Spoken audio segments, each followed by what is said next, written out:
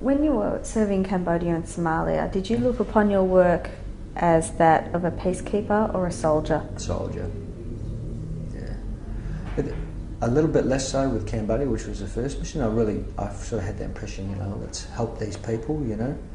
The weapons were taken off us, you know, our weapons. We went, went over without weapons at the start, then they gave us weapons, and they took the weapons off us. They just couldn't make a decision. And that used to make me really angry that someone else makes a decision on my ability to defend myself.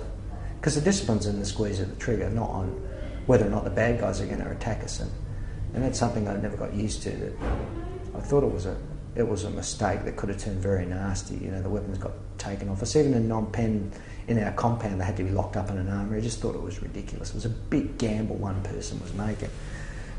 Wasn't happy with it. But I guess you got to say the proof in the pudding. They never attacked us, and that was it. But had they, we'd all be dead. You know. So, but in Somalia, it was uh, a different story. As in, in Cambodia, it was like I was really there to help the people. I really wanted to help a lot in Somalia, no, it was just. I, I thought I was there to enforce other people not killing each other, and really didn't have uh, didn't give them too much thought about their family lives and that sort of thing. I mean, I, my impression of people in Mogadishu was different to Baidoa. Baidoa, I really liked the people, similar to Cambodia, but in Somalia, in Mogadishu, I thought they were there to kill me, and that was just all there is to it. And they had that look, and they were armed up, and yeah, I mean, they had the capacity.